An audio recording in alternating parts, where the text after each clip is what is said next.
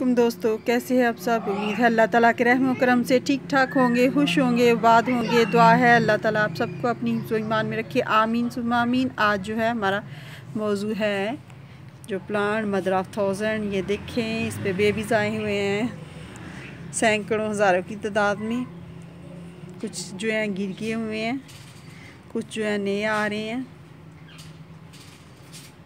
یہ اس کے بیبیز ہیں، یہ جہاں گریں گے وہاں سے اپنی پروپوگیشن جو ہے شروع کر لیں گے۔ یہ دیکھیں جہاں جہاں گرے ہوئے ہیں، وہاں سے نیو پلانٹ جو ہے بن رہا ہے۔ ٹھیک ہے، سب سے پہلے بات کر لیں اس کی سائل کی۔ تو سائل ویل ڈرین ہم نے لینی ہے، چاہے بالو مٹی لے لیں، ویسے تو گارڈن سائل میں بھی چل ہی جاتا ہے۔ اور پانی جو ہے ہم نے دیکھنا ہے، جب سرفیس جو اس کا اوپر سے خشک ہو جائے تب دینا ہے، کیونکہ یہ سکولنٹ پلانٹ ہے، بہت زیادہ پانی کی سے ضرورت نہیں ہوتی۔ اور کبھی آپ اسے پانی دینا بھول بھی جائیں تو تو بھی یہ بہت اچھی طرح سے چلے گا۔ ٹھیک ہے؟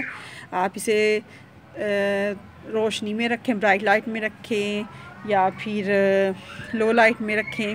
لو لائٹ میں تو گرو کر جاتا ہے، لیکن زیادہ خوبصورتی جو ہے اس کی سن لائٹ میں آتی ہے۔ صبح دو، ایک دو گھنٹے کی یا شام کی ایک دو گھنٹے کی دھوپ مل جائے، یا ویسے ہی اگر آپ اسے برائٹ لائٹ میں بھی رکھتے ہیں تو بہت اچھی طرح سے گرو کرے گا۔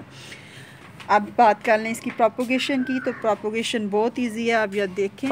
جیسے نظر آ رہے ہیں اوپر سے بیبیز اس کے، جہاں گریں گے وہاں سے ہی روٹنگ سٹارٹ کر لیں گے۔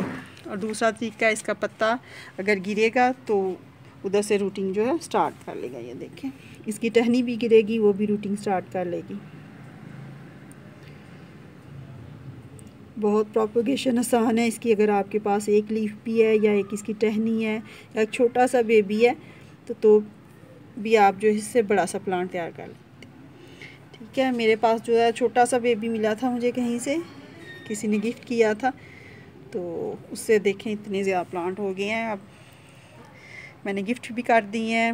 اس پہ فلاورنگ بھی ہوتی ہے۔ فلاورنگ جب ہوتی ہے تو اس کے بعد پلانٹ مر جاتا ہے۔ تو اس لیے اگر دیکھیں کہ فلاورنگ جو ہے شروع ہونے والی ہے تو آپ اسے کاٹ سکتے ہیں۔ اگر ویسے ہونے دینی ہے آپ نے تو ہونی بھی دیں کیونکہ ہمارے پاس بہت سے پلانٹ اس کے تیار ہو چکے ہوتے ہیں۔ کیا زمین میں بھی لگایا جا سکتا ہے، پودوں میں بھی۔ اور اگر آپ اسے کٹنگ کے ذریعے اگانا چاہیں تو یہ دیکھیں، بہت ایزی طرح بہت ایزی ہے۔ یہ دیکھیں، ویسے ہی اس کی جو ہے روٹس جو ہے نکل نکل کے نیچے آ رہی ہیں۔ جس مرضی موسم میں آپ اس کی کٹنگ لگا سکتے ہیں۔ اس کے ساتھ ہی مجھے دیجیے اجازت، دعاؤں میں یاد رکھیے گا اور اس پلانٹ کو اپنے گھر میں ضرور رکھیے۔ بہت خوبصورت پلانٹ ہے۔ اللہ حافظ۔